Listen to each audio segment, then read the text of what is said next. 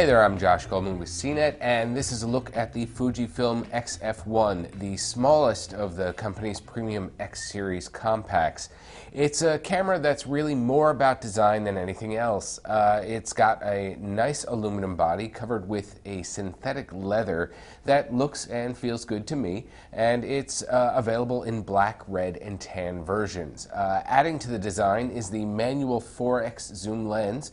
You pull out the lens from the body and twist it not only to zoom but to turn the camera on too.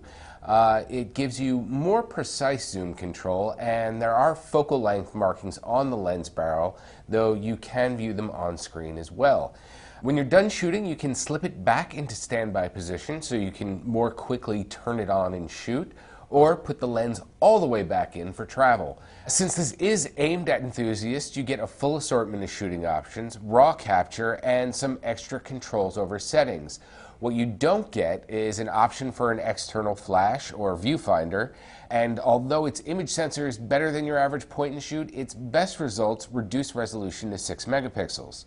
Also, while the lens's starting aperture of f1.8 is great to have in low light, it's only available at its widest focal length, dropping to a slow f4.9 when zoomed in.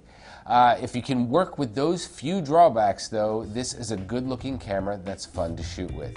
I'm Josh Goldman, and that's the Fujifilm XF1.